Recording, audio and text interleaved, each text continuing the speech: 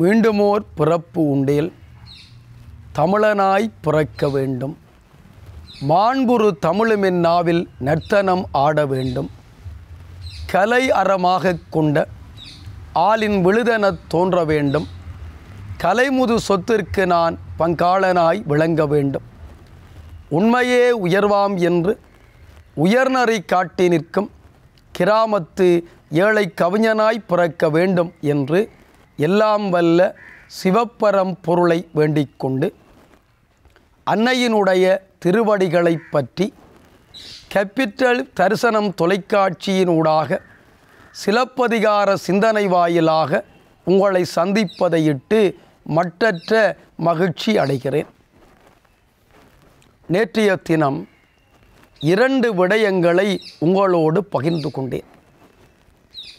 வஞ்சின மாலையிலே வருகின்ற இரண்டு பத்தினிகளை பற்றி நான் கூறியிருந்தேன். கணவன் கடல் மார்க்கமாக வணிகம் செய்வதற்கு போகிறான். அவன் திரும்பி வரும் வரை மனைவி கல்லுருவாக கரையிலே இருக்கிறாள். மரக்கலன் வருகிறது. கணவன் சுகமாக கரை வந்து சேர்கிறான். தன்னுடைய கல்லுருவத்தை நீக்கி நல்லுருவத்தை பெறுகிறாள் அந்த பெண்.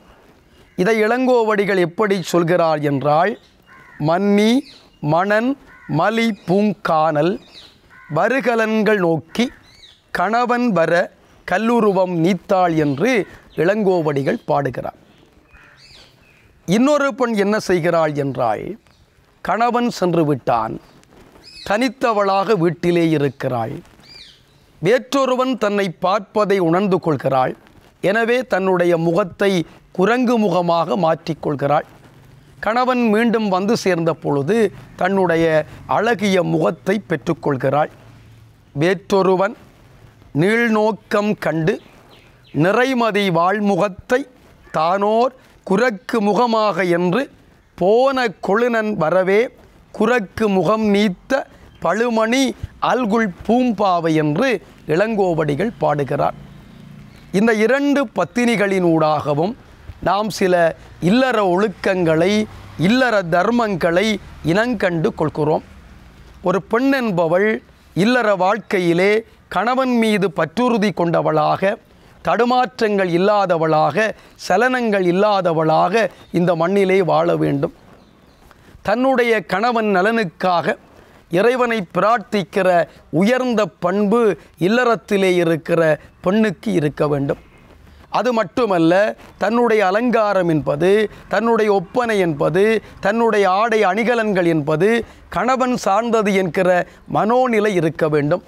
மற்றவர்கள் தன்னை பார்க்க வேண்டும் மற்றவர்கள் தன்னை ரசிக்க வேண்டும் மற்றவர்கள் தன்னை பாராட்ட வேண்டும் என்பதற்காக ஆடையை அணிகலன்களை அலங்காரங்களை செய்கிற மனோநிலை பெண்ணுக்கு இருக்கக்கூடாது. இந்த பண்பு ஆண்மகனிடத்திலும் இருக்க வேண்டும். ஒவ்வொரு ஆண்மகனும் தன்னுடைய அழகு என்பது அலங்காரம் என்பது ஒப்பனை என்பது ஆடை அணிகலன்கள் என்பது மனைவிக்கே உரியவை என்கிற மனோநிலை இருக்க வேண்டும்.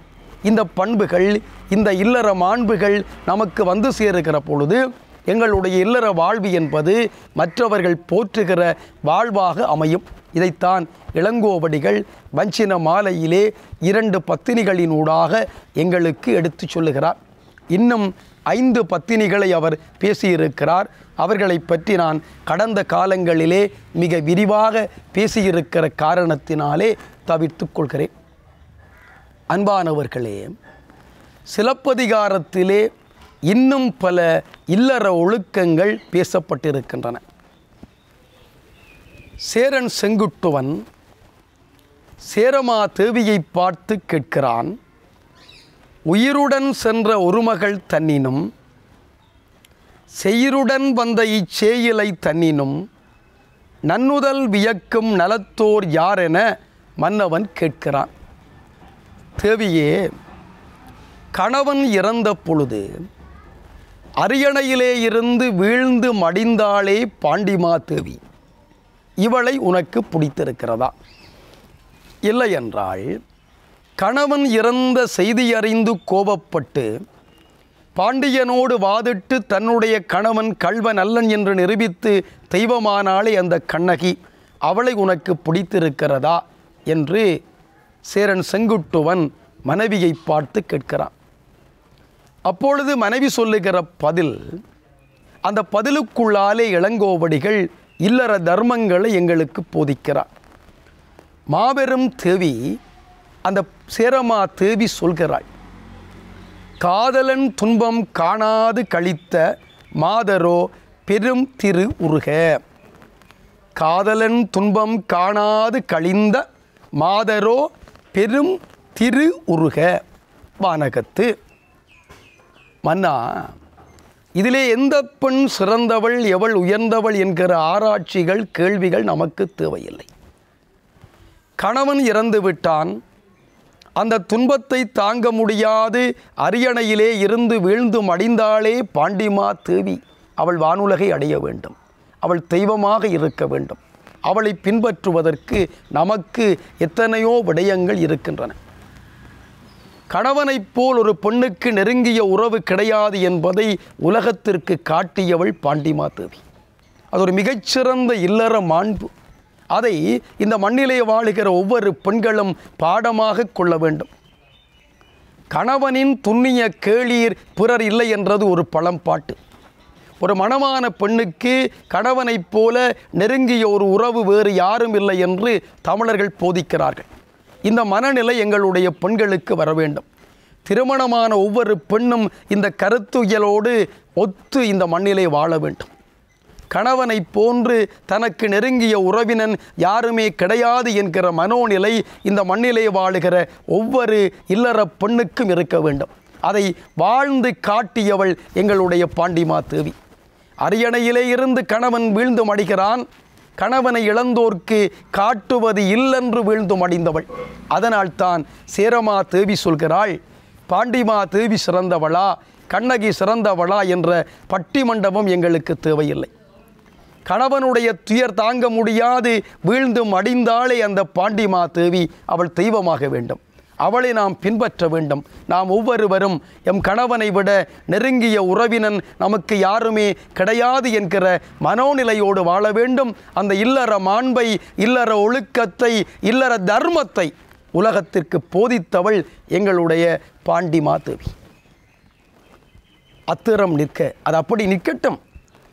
நமகள் நாடடைந்த இப்பத்தினி கடவுளை பரசல் வேண்டும் என்றால் சேரமாதேவி. நம்முடைய நாட்டுக்கு வந்தாலே நம்முடைய நாட்டிலே வந்து தெய்வமானாலே இந்த கண்ணகி அவளுக்கு நாங்கள் கோவில் அமைக்க வேண்டும் என்றால் சேரமா அன்பானவர்களே கண்ணகியும் இல்லற ஒழுக்கத்தை இல்லற மாண்பை இல்லற தர்மத்தை உலகத்திற்கு போதித்தாள். தன்னுடைய கணவனுக்கு ஒரு பழி வருகிற பொழுது அந்த பழியை மனைவி துடைக்க வேண்டும் என்ற இல்லற ஒழுக்கத்தை அவள் போதித்தாள். அது மட்டுமல்ல பாண்டியனோடு வாதிட்டு தன் கணவன் கல்வ நல்லன் என்பதை நிரூபித்து தன் கணவன் தூய்மையானவன் என்பதை உலகத்திற்கு காட்டினாள். அப்படிப்பட்ட பெண்ணை நாம் தெய்வமாக போற்ற வேண்டும் என்றால் சேரமா தேவி. ஆகவே கணவனைப் போன்று நெருங்கிய உறவு இந்த உலகத்திலே பெண்ணுக்கு யாருமே கிடையாது. கணவன் இல்லை என்றால் அந்த பெண்ணுக்கு உலகு இல்லை என்ற மிகப்பெரிய தர்மத்தை இல்லற ஒழுக்கத்தை உலகத்திற்கு சொன்னவள் பாண்டி மாதவி ஒரு கணவனுக்கு பழி வருகிற பொழுது அந்த பழியை துடைக்க வேண்டும் கணவனுடைய தூய்மையை உலகத்திற்கு காட்ட வேண்டும் என்ற இல்லற தர்மத்தை உலகத்திற்கு போதித்தவள் கண்ணகி. அதனால்தான் சேரமா தேவி சொன்னாள் இவள் நல்லவளா இவள் நல்லவளா என்கிற அந்த வாதங்கள் எல்லாம் தேவையில்லை. பாண்டிமா தேவி நல்லவளா கண்ணகி நல்லவளா என்ற வாதங்கள் எல்லாம் வேண்டாம். இவர்களை நாங்கள் பின்பற்றுவோம். அந்த பாண்டிமா தேவி தெய்வமாகட்டும். கண்ணகிக்கு நாங்கள் கோவில் அமைக்க வேண்டும் என்றால் சேரமா தேவி. இப்படி கண்ணகியினூடாக பாண்டிமா தேவியினூடாக இல்லற ஒழுக்கத்தை இளங்கோவடிகள் போதிக்கிறார். இந்த இடத்திலே சேரமாதேவி சேரன் செங்குட்டுவனினுடைய உரையாடலினூடாகவும் ஒரு இல்லற ஒழுக்கத்தை இளங்கோவடிகள் எங்களுக்கு சொல்கிறார். அது என்ன என்பது பற்றி நாளைய தினம் நாம் சிந்திப்போம். வாழ்க தமிழ் வளர்க கலை.